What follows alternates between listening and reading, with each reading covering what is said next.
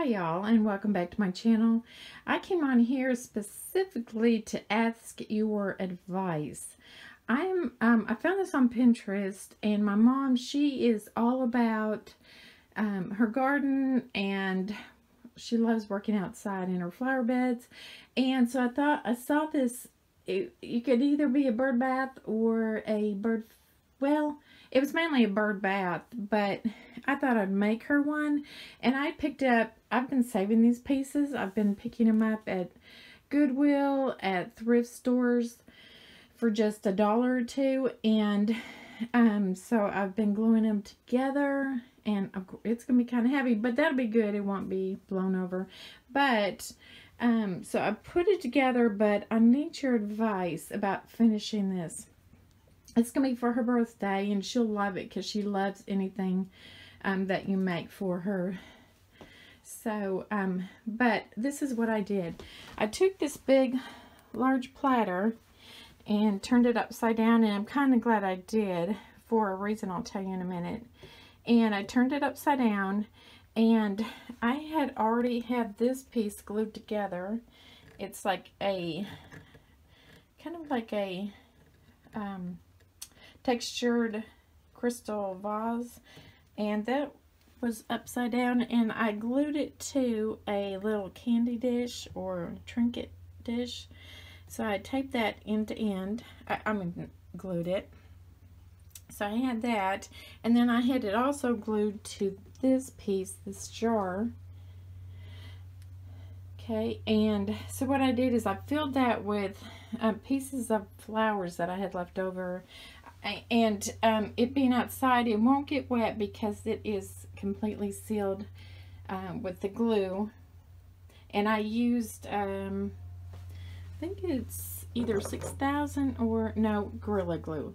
I use Gorilla Glue to glue all this together because to keep it um, hopefully together.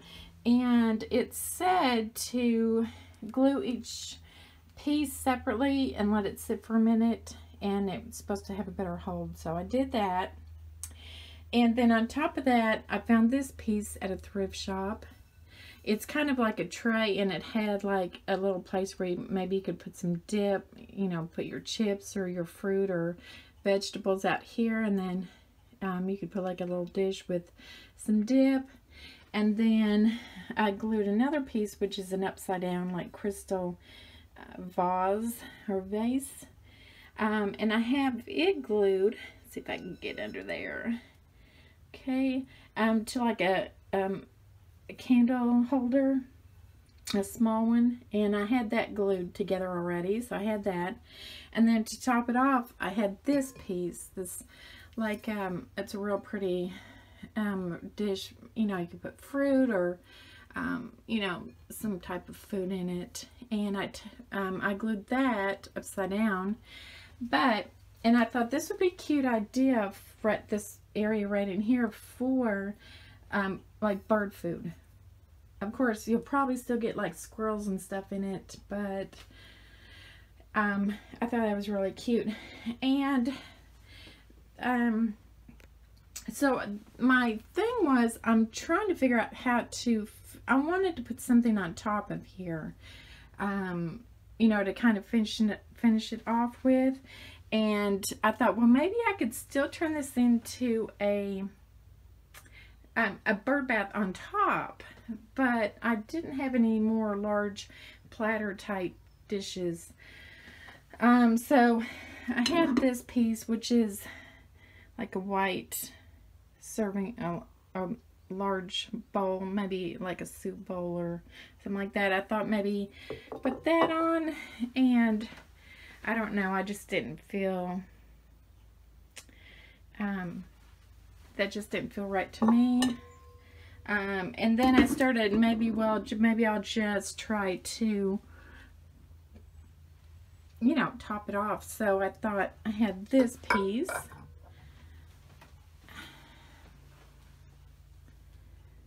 Okay, and I didn't think so.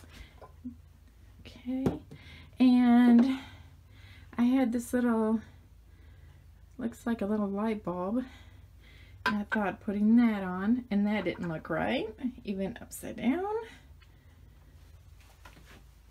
I mean, that could be okay, but I don't know. I just, I didn't, I wasn't feeling it.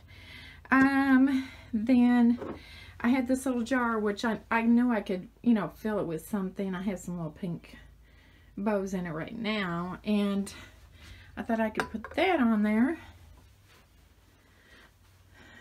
And still not feeling it.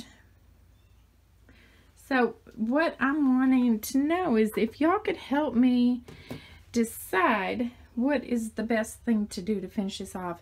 I have this little candle holder and I thought I could put that on there.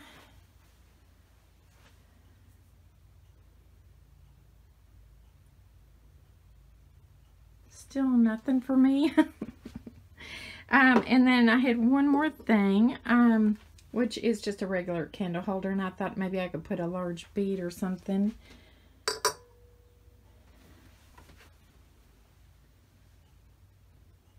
Because you don't want, you wouldn't want water sitting in that. Okay, so I want y'all to tell me, I have one more idea. And tell me what y'all think about this. But, because I still was kind of thinking of the bird bath slash bird feeder, but I would need to add to this. So, but I could do it this way. I could turn this whole thing upside down. Of course, I would still need to build this way and build something for it to sit up, but have this a bird feeder, okay, and this kind of sheltering it. And then this would kind of um, you know, catch the rain to have a little bird feeder because it, it is a little bit deep, you know, um, right there. So that would catch rain. And, but I would just have to build up this way with something. So let me know what y'all think. I um, really need some help on this. And so get back to me and so I can finish this up for my mom for her birthday.